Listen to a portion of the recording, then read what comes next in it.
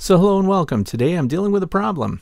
My Dell XPS 8930 is letting me down. That's right, the computer crashes for no reason at all. And I haven't changed much with it. This thing is only six years old. It's basically brand new, but I'm going to give you a layperson's method, step by step, how to upgrade my power supply. So I'm going to unplug a bunch of these USBs here, then I'm going to strap them together so I can find them later because this is on a metal rack, by the way, which keeps it grounded, which means I'm not going to put any static charge on anything while I open this, but you need to pull the cord away. You need to know this is a layperson's method. I'm not a professional. So if you do what I'm doing here and something goes wrong, I accept no blame. It's all yours. It's all your fault. And so we're going to go step by step, side panels off, and now look at this little bar right here. It has two little screws. So we're going to take those off and remove that. I have a new power supply. Why?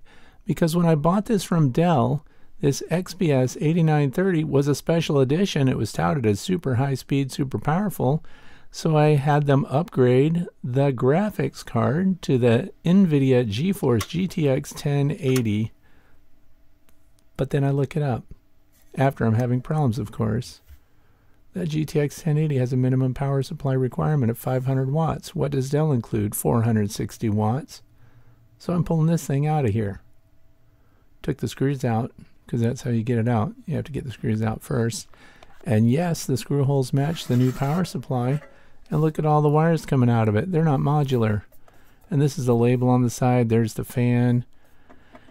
I didn't realize why it would shut down in the middle of projects I was doing. But then I, you know, went to the forums like everybody else and I find out that if your power supply is low, your graphics card can cut out on your your computer can restart on its own and all these things were happening. Plus i have low power because look i have all ssds here. That's a graphics card. That's the culprit right there. So we're going to unplug that. I'm just showing you everything that's plugged in here and showing myself. Because if i lose my way i'm going to consult my own video. So the new power supply is modular. I'm going to show you step by step how to do everything. Look i pulled the power off of each of these ssds because i do a lot of video editing I need SSDs. I can't play around with standard things that spin. There's your main power plug right there on the motherboard. We're going to pull that out of there. There's a little clip on the right side, but look at this brown and black wire going to the back. It's another thing that plugs power into your motherboard, and it's difficult. And look at this. There's a Blu-ray burner. That's right. I have a Blu-ray burner. Why do I need it? I don't know. But since it's there, I have look at this weird little special plug that did not come with a new power supply. So I had to get online, go to Amazon, and buy one of those so we could pigtail in here to this thing. Look at that.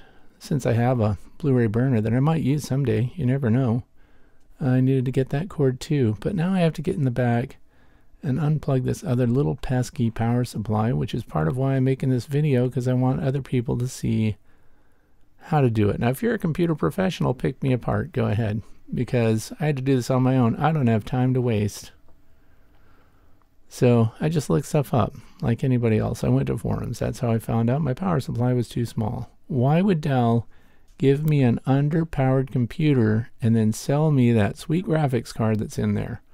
I don't know, but I have to pull this fan off. Look, there's three screws to get it off. One there, and then two. There's another one on the left, another one on the right. And I have to get out my the big guns, the Phillips head screwdriver, the long one, made by DeWalt, because it's a good screwdriver, not like the ones that come in these little computer kits, and it's got a magnetic tip on it. Remember, you have to ground yourself, not zap anything. Don't be touching stuff just to see what it's like. And look, it's out. I pulled it apart. Look at the dust in there. It looks like a little squirrel cage, like a hamster wheel. Only not. So then save the screws. Those screws are different, by the way, than all the other screws. So you want to make sure and not give yourself any frustration. Put them in a place where you know you can find them later. Now I have to get this thing off with all the cooling fins and stuff. I think that's the computer processing unit, which generates a lot of heat. That's why there's all these fins and stuff going on here. Look up above, it's a little dusty. I need to blow that stuff out. Those are all cooling fins. This thing looks elaborate. Probably because they sold it as a special edition, it had to look, you know, really cool with a lot of extra things on it. I don't know what's going on, but we also have to use this thermal compound, which I had to order. So one thing after another was holding me up. The special cord to my Blu-ray burner, and of course this compound that I need to use. That's right, thermal compound, which eliminates the airspace between your processor plate or the processor itself. I don't know what that is. And then this cooling sink thing that goes on top of it to make sure you can conduct the heat away from the processor. That's why the fans are there. That's why these fins are there. And I just turn it counterclockwise until you hear the thread kind of pop there. See? Then the whole thing should kind of come out. Look, it comes out really easy, but watch out. There's that cord going through there from the fan. Of course, they routed the cord right, the cord right through it and now you bump around and everything. Maximum opportunity to mess something up. But look, there it is. There's a thermal compound right on the copper, and it looks like they put plenty on there. Look, it's 100% coverage. There's a lot of discussion about that too. And I noticed that it's globbed to the outer edges, but look, this is the culprit. That brown and black wire going to that little four clip right there, that's why I had to pull all this stuff apart just to get to that. How annoying. So we're going to unplug that too, but first I have to get this top fan out, and it has one screw, so at least that's convenient. Try not to run into a bunch of other stuff while you're doing it. And uh, it's got, of course, its own little power cord. Everything has power. That's what we're about here. That's why we're upgrading the power to 750 watts. But now it's unplugged. Look, that part's done. Weird little brown and black cables.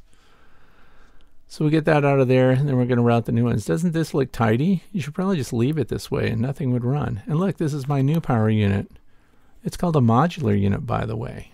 750 watts, gold edition. I don't want to play games. This part plugs into the CPU, and uh, the other ends go to your motherboard there. Look at, I'm just giving you a close up of the old one, 460. Thanks, Dell for chinsing out. In fact, I couldn't even find a Dell Power Pack that goes up as high as people are recommending. Forums are great. Thank you to the people on the forums that tell you that you don't have what you need in your computer that came stock. So now I have to clean this stuff off, this compound. I know there's a little spreader that came with the uh, little tube of compound that's supposed to keep things thermally coupled. But instead of spreading it on, I'm using that to scrape it off. Look at that. Huh. 3.7 gigahertz processor, Core i7. It seems like that should be pretty good. Put a piece of paper down underneath of it when you scrape it off so you can collect it all. And look at the ooze around the edges here for that copper plate. They didn't care about being tidy. They cared about coverage. They wanted to make sure and cover the whole thing. But look, I have Sensor Clean, which I use on my photography gear, photo sensors. And I have sensor wipes, which I save after I use them because I use them for other things. And I never knew I was going to need it for this. So I used sensor clean on those plates and I wiped away the residue. Look at that. That copper plate looks basically brand new. Ignore the tiny scratches. Look at this. There's the processor. It's clean also. It's ready for the brand new thermal compound. And look, the CPU plugs. You'll notice that they're different. Some of them have little angled edges and then there's square and angled edges. So you want to find the one that matches what's on the motherboard. See that one? Square and angled. Look at the receiver there. Also, see the little squares and the angled parts? You can only put it in one way. And the clip is on the right. Look at that. So I'm going to push that right in there. See the one on the right? That's the one that goes in there. And it's marked CPU. There it is, installed. Now we follow the little routing there, the little clips and stuff, and we put the fan back in the top and put that screw back up there. That's all where it belongs. Double check to make sure everything's plugged in because you're about to close it all back up. Look at that, a little bigger than a pea. I put it on both sides here because they said a little better to have a little too much than not enough. Now if I overdid it, there again, I accept no responsibility if you do what I do, but there, it's installed. Screwed all the screws in, they're spring loaded. You almost can't fail. Here's that fancy little plug for my Blu-ray burner which no one has ever asked for, by the way. I just thought since I have it, it should be plugged in. So there it is. It's connected. So that has power. And here's the pigtail part because I had to buy it special because it did not come with the power unit. And now that's plugged in. Look at that. I'm good at putting things together that match. And these cables are big because they have these coatings all over them. And look, the fan's back in. I put those three screws in. Did not clean it. Probably should have, but I'm in a hurry. I got stuff to do. Now my solid state drives that are down through here because I do a lot of editing. And uh, solid state drives are faster And these are the plugs for them. Look, they're all connected. But look at the way these connectors come out. They stick out too far. It's hard for you to put your panel back on. So that's a special kind of uh, problem there. Here's the switches on the back. Eco switch off on and then the main power off and on. Look at that, that's in. Look how neat and organized. This is almost as good as a professional would do, only not because look, the wires at the bottom are sticking out too far. I can't put the panel back on. So there you have it. The new power unit is in. And now I'm going to turn it on. It's the moment of truth. Just push the button. The whole thing's going to come to life. Nothing. What is going on? So I reach in the back and I flip the switch. Now it'll work. Nothing still? the heck? Still nothing.